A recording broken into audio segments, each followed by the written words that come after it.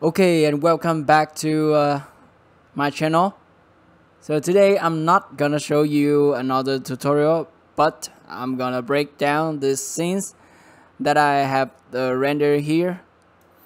This is the 7 unit of social housing that I have another modeling tutorial in my channel. You can check it out. And say no more. Let's get into it. Okay, first thing first, I got this door and windows model from Archipack.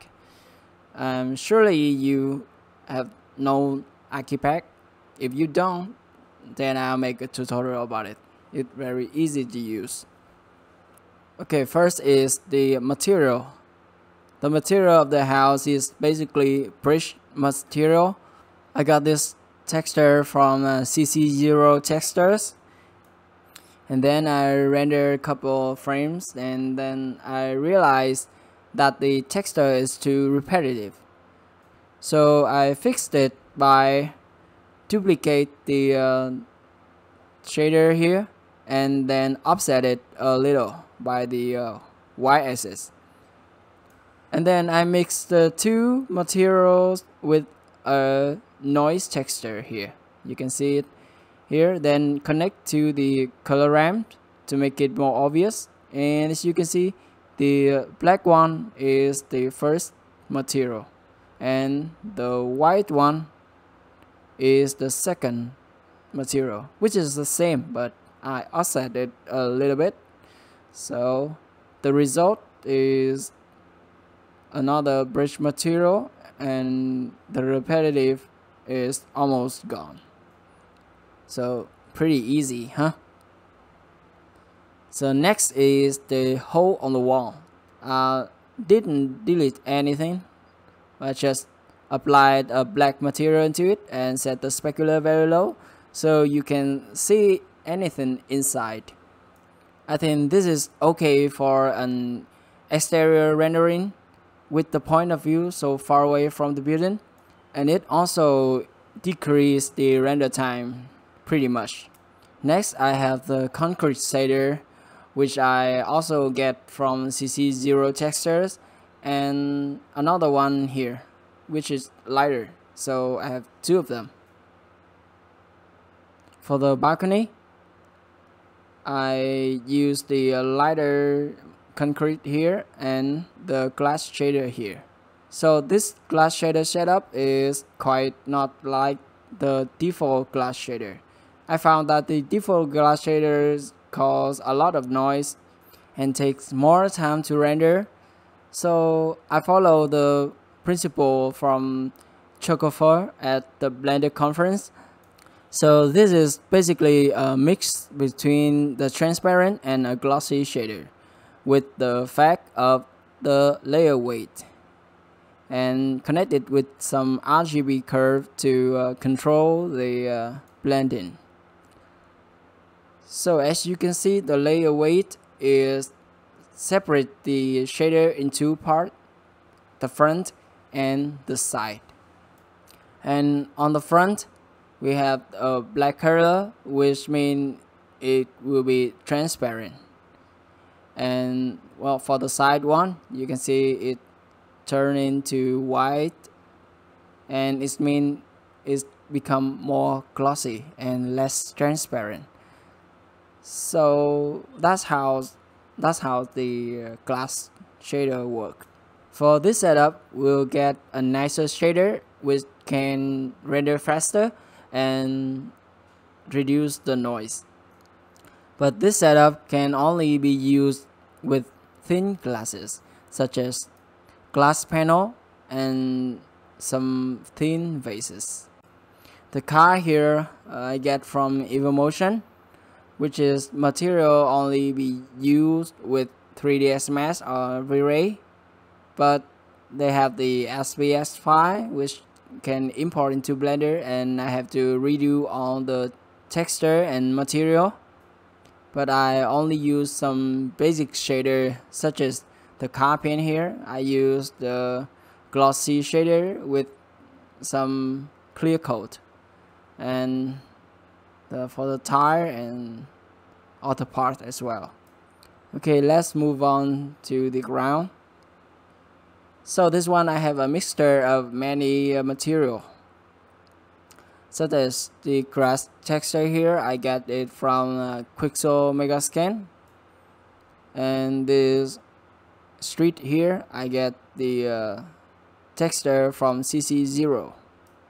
It really easy to use in Blender. Just select the principal shader and then Control Shift T and load on the texture and the node wrangler will do the rest. For this pavement here I also get from CC0 and the other material as well. For the leaves on the ground I use the Graswald add-on. It's an awesome add-on to add grass and other leaves stuff into your render. So I have this ground here. Then I open the Graswald add-on. Then choose the dead leaves. The density of the leaves can be specified in weight painting mode. As you can see here the red one is the most dense and the blue one is uh, zero dense you can also use the vertex group to define which one will be applied the dead leaves and the most interesting part of the house is the garden. The garden here, I also use the uh, Graswald for the grass here. I made a plan and go to the sculpt mode to create some height.